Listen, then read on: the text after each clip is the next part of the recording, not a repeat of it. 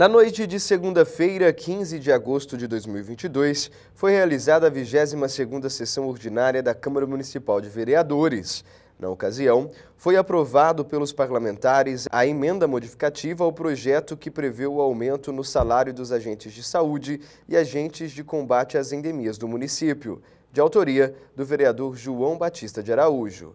Também foi realizada a apresentação de proposições com indicações e requerimentos. Os parlamentares que utilizaram este espaço foram Cristiana Pereira da Silva, Luiz Carlos Barbosa da Silva, Marcos Martins de Souza, Divino Rosa de Miranda, Fábio Adriano Agulhão, Wilson Pereira da Silva, Carlos Eduardo Girardello e João Batista de Araújo e Silva. Foi realizado ainda uma pequena homenagem aos peões de rodeio do município que representou Alto Garças no terceiro Rodeio Show Cultural. As sessões acontecem todas as segundas-feiras, a partir das 19 horas, no plenário da Câmara Municipal. Participe e acompanhe o trabalho do seu vereador.